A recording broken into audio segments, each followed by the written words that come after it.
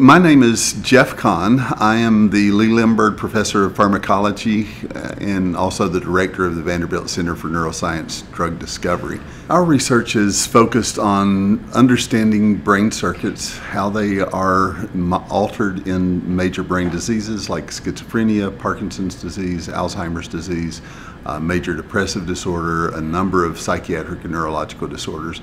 But then the real goal of that work is as we understand how those brain circuits are, are altered in those disease states, we can identify new treatment strategies.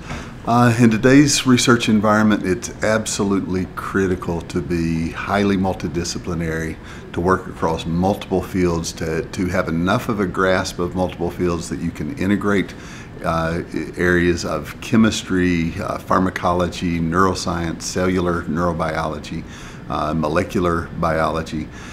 But to do that, you have to have that understanding, and that's key. But you also have to work as a team because no one can fully understand each of those areas uh, intimately and, and in detail. So we have to work as teams of experts, each of which is at the forefront of their fields uh, within these different subdisciplines and come together to bring that uh, to fruition. And that's one of the wonderful things about Vanderbilt is Vanderbilt has a culture of collaboration. So, so it's natural at Vanderbilt to work as teams uh, rather than in these siloed labs that are all completely independent of one another. This is the only place I know where individuals, students and, and postdocs can get training in drug discovery in the way that we do it.